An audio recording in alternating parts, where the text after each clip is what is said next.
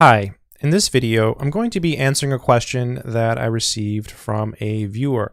I will read the question in its entirety, and then I will do my best to answer that question. Remember, if you have any advice for this person, please leave a comment in the comment section below. People do read the comments, and sometimes you leave a comment and it helps lots of other people, so it's totally worth it if you have something positive or instructive to say. So let's go ahead and read it. The person's name is Andrew. I won't uh, give their last name. And the subject is college credit for math. Love your channel. All right, cool. Thank you. I feel like some videos have given me superpowers. Haha. I've always been weak at math, but deep down inside, I want to be an engineer. Cool. In fact, I'm trying to go back to school for it, but I lack a math background. Any suggestions where I can go and take math, engineering, EE, and physics classes? I would need to get credit for them as they, that would increase my opportunity in getting accepted into a university program. Thank you, double exclamation mark. So yes, I do have some advice and it's actually not that difficult to do.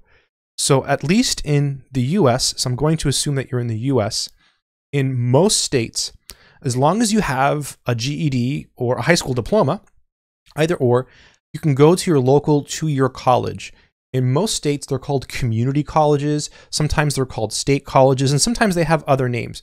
But these are public institutions, okay, that are partially funded by their respective states.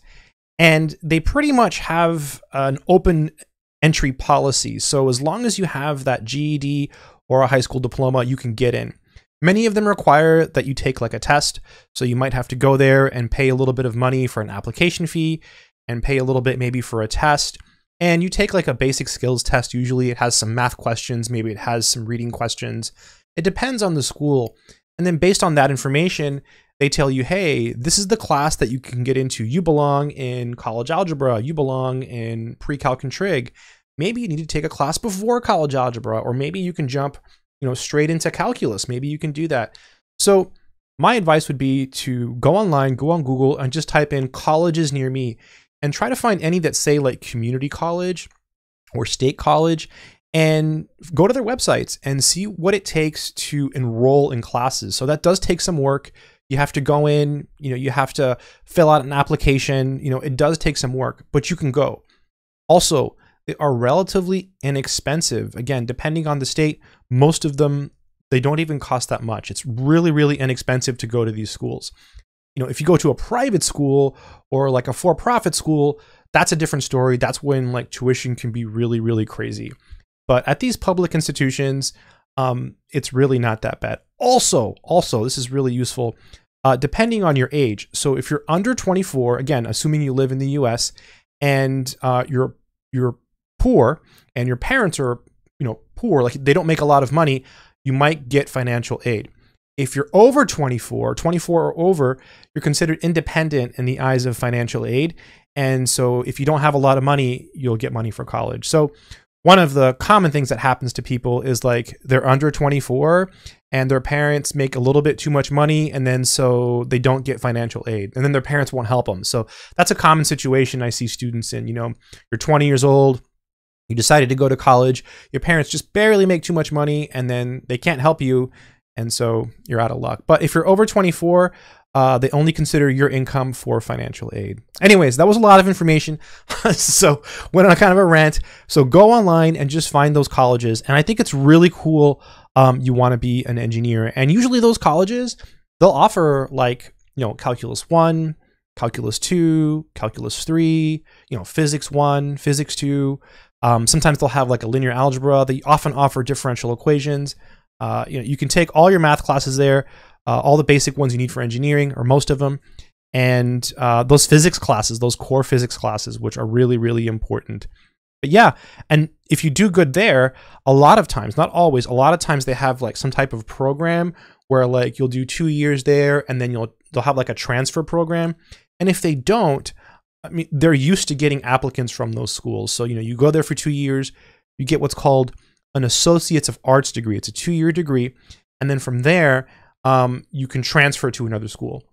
And you can stay in state after this, or you can go out of state. So that's a whole other topic, right? Because let's say you go to your local college for two years and you want to be an engineer.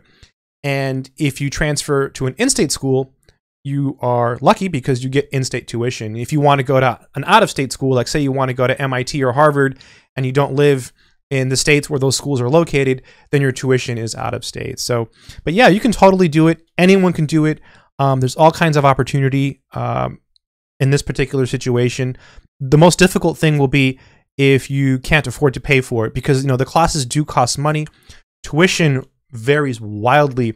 It really varies by state. In different states, it costs more than other states. I don't really know. I'm just throwing numbers out, but like it might be $400 for a class or it might be $1,000 for a class. It just depends on the different states. And I'm not really up to date with what like each of the states charges for tuition per class, but it's really inexpensive and you get credit for them. If anyone else has questions for this viewer, Andrew, please leave a comment in the comment section below.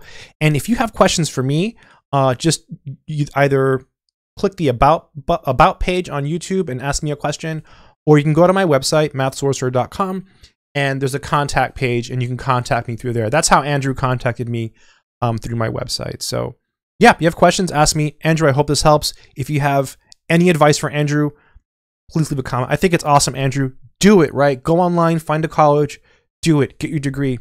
Good luck, man.